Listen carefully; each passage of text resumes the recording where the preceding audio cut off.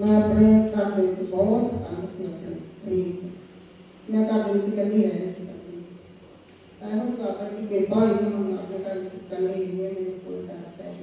फालतू कृपा हुई बाबा